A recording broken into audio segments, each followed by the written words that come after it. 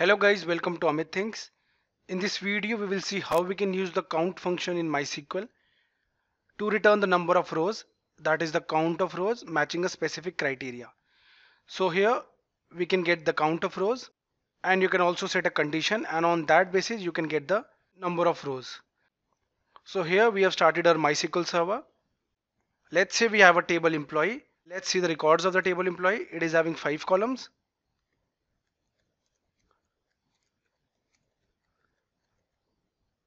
Here you can see select star from the employee to get all the records from the employee table.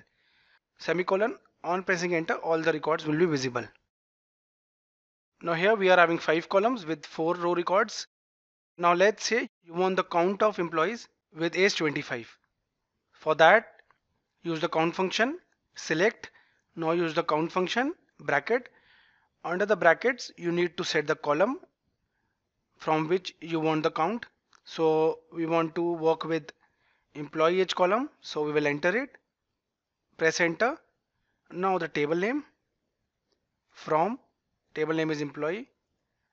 As you can see here. Now enter. Now here using where clause we will set conditions. Let's see where. So what we want?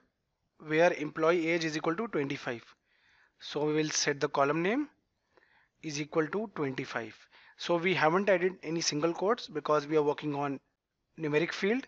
So quotes are only used when you add strings. So here we are having numeric value so we haven't added any single quote. Semicolon press enter. Now the output should be 2 because only 2 employees are having age 25. Press enter. On pressing enter you can see only 2 is visible. So here we counted the number of employees having age 25. Now let's see another example here how you can count the number of rows in the entire table. For that it's very easy. You select then count. Bracket. You need to only add star not any specific column name because we want the count of rows. That is the number of rows in the entire table. So I'll add star. Now press enter. Now only add the table name that is from employee. Semicolon press enter. Now you can see count 4 so in a table we were having four rows. The count is 4 that's why here 4 is visible. Here it is. So guys in this video we saw how we can work with the count function. We also saw that that how we can set conditions so that we can get a specific count of rows. So guys thank you for watching the video. If you liked it do subscribe to our channel Amit Thinks